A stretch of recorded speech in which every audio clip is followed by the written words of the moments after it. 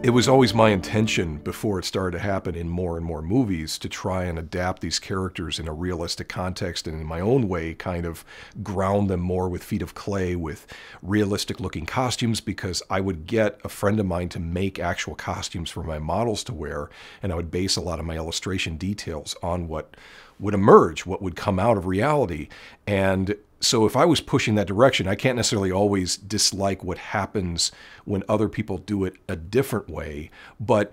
as fans, we have those things that trigger certain things that we just love, and other times it just doesn't fit for what you feel. You know, you always have a mental image of what you think these characters would be, and sometimes that's not what you're getting back with the live action versions.